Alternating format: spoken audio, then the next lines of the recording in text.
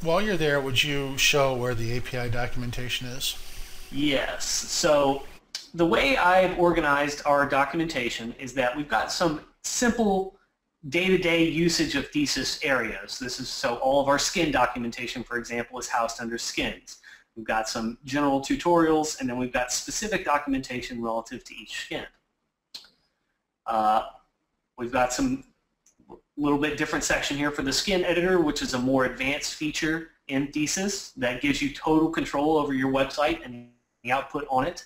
Uh, requires a little bit of knowledge about websites to be able to use that effectively, but it is an extremely powerful tool. And then we have the hardcore developer documentation under the developing with thesis header. And uh, the API is probably the link that most of you will be interested in.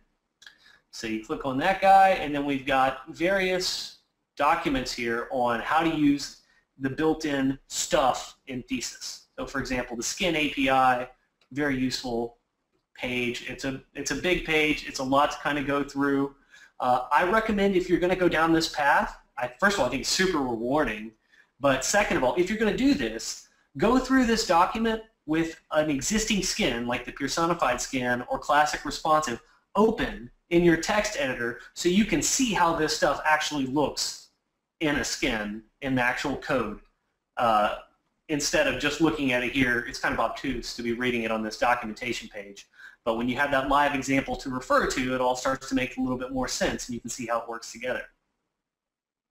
Uh, Rick, did you have any thoughts on the API stuff? Um, no, I don't. Um, I, I, I refer to the API constantly. uh, yeah, so. I, I, mean, I think anyone who's developing uh, these are these are totally invaluable pages.